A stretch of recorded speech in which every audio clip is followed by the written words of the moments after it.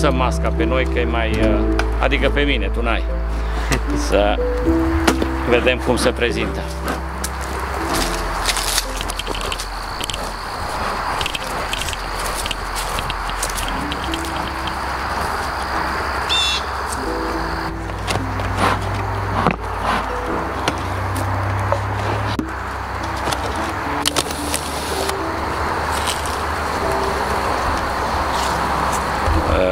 Încă are puiet aici, pe margine are ouă, dar aici are puiet. Aici este mai mare puiet de trântor. Deci pentru 30 septembrie încă are mult puiet, mai ales la nivelul 2.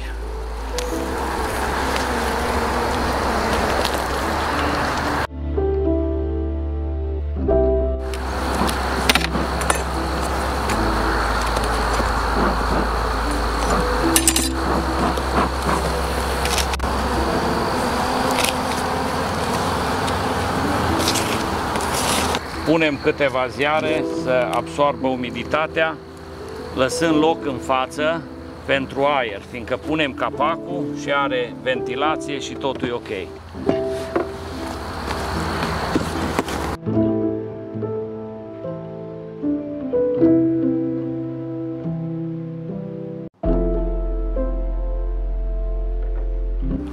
Asta e împachetare tip horn. Mai este tip clopot, dar uh, mie îmi place tip horn. Mergem bine cu ea. Nu se strică ramele. Uite așa. Acum o să facem o cântărire după ce termin. Așa.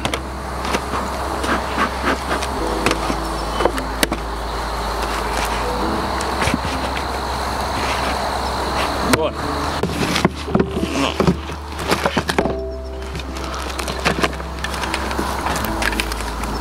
Da.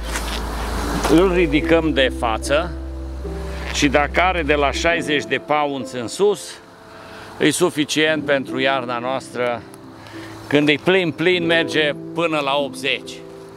Dacă nu-i chiar așa plin, vom vedea.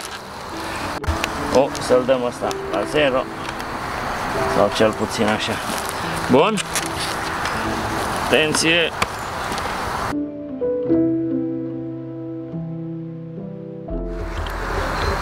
Ăsta a mers la 60, da? Că nu le-am dat uh, găleata cu sirop.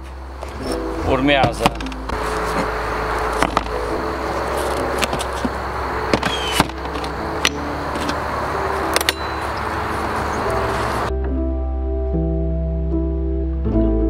Așa iernez eu, îi pun spate în spate, lateral, capacul ăsta vine jos când împachetez de iarna. Și atunci rămân numai capacele astea care îmi dă posibilitatea să le apropii.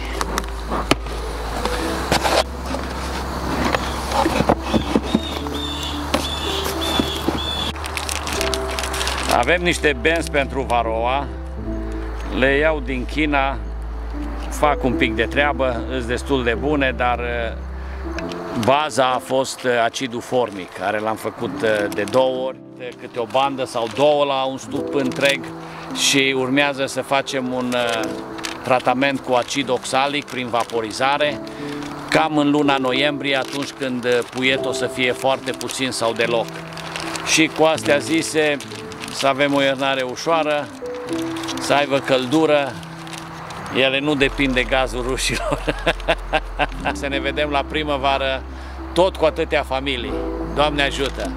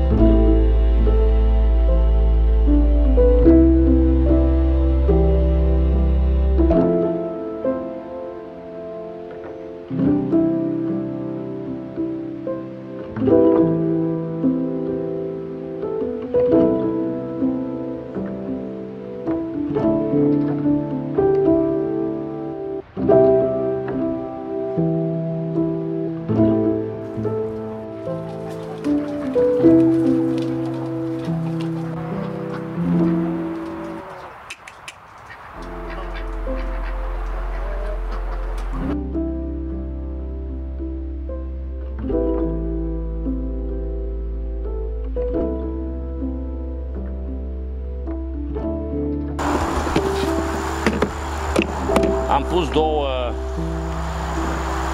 capace să țină puțin căldura, ei încă mai au puiet și să nu fie condens.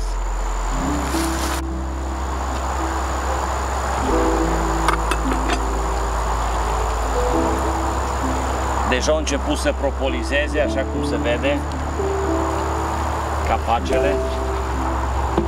Un roi din luna iulie. Încă mai are puiet, așa că l-am astupat să fie cald.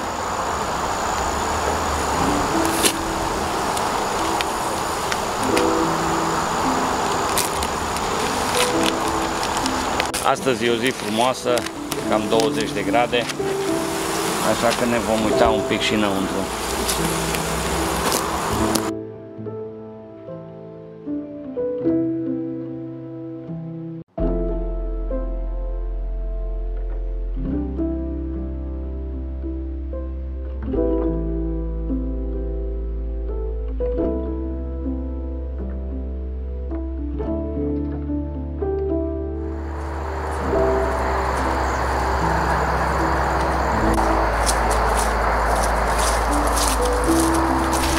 Deci, confecționate de mine.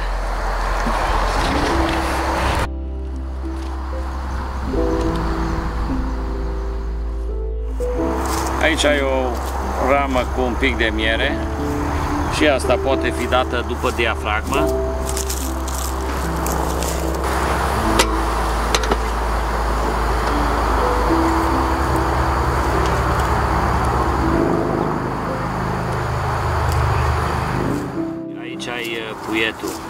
Un pic uh, de miere, o coroană frumos. E o ramă bună.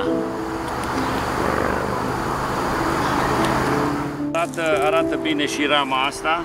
Are și ouă de zi. Probabil că matca e undeva în apropiere. Să punem înapoi, să mai verificăm următoarea. Deci a doua ramă cu puiet. Pentru vremea asta e destul de mult. Uite cum se vede și aici. Aduc uh, polen. Au polen în zonă, uite cum se vede încărcată. Uh, restul e o matcă tânără, e un roi de anul ăsta din luna iulie și merge foarte bine. E plină de puiet. Miere căpăcită, miere proaspătă, pe margini alimentează puietul. Da, aici am miere căpăcită. E bine.